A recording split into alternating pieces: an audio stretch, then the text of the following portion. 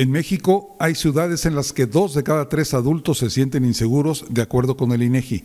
La encuesta nacional sobre seguridad pública se lleva a cabo cada año desde el 2013 y refleja la realidad de una población que desde hace 10 años considera que vivir en su ciudad es inseguro por lo menos para el 64.4% de la población.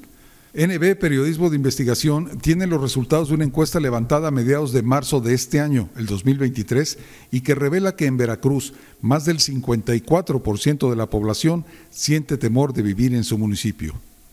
Los índices de criminalidad, de robo a transeúntes, a casa habitación, los asaltos a comercios y negocios son difíciles de cuantificar porque son muchos los casos que no se denuncian en las fiscalías pero de acuerdo a nuestra encuesta, el 23.4% de los veracruzanos adultos reconocen que han sido víctimas de algún asalto en el transporte público o en la calle. Y es precisamente en la calle en donde es más fuerte la sensación de inseguridad.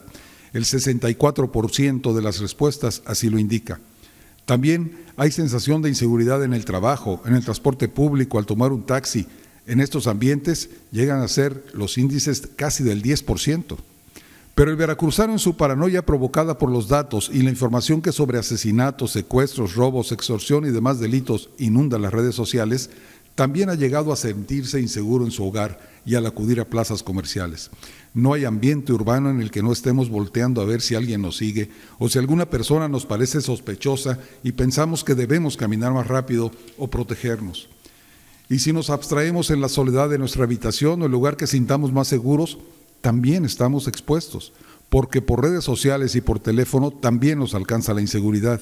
El 24.5% de los veracruzanos ha sido víctima de extorsión telefónica o de algún contacto delictuoso a través de mensajería o de redes sociales. El celular es la vía más utilizada en estos casos, porque de quienes han sido víctimas de algún acoso o intento de delito por vía electrónica, el 78% refiere que ha sido una llamada por el celular, mientras que otro 12% por las redes sociales. Esto es, el 90% de los veracruzanos víctimas de delitos cibernéticos lo ha sido por teléfono o por redes sociales.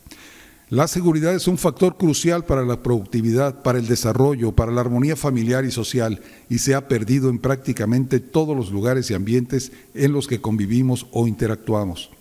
Y no solamente es una cuestión personal, porque si nuestros hijos, amistades o familiares salen de casa rumbo a cualquier actividad, nos preocupamos por ellos y esa preocupación disminuye y afecta incluso nuestra salud. Todo el Estado participa en mayor o menor medida en esta situación. Las carreteras, zonas rurales, caminos vecinales, centros comerciales, deportivos y hasta escolares. Ya no digamos los santos, restaurantes y centros nocturnos. Así las cosas en estos días de inseguridad extrema en Veracruz.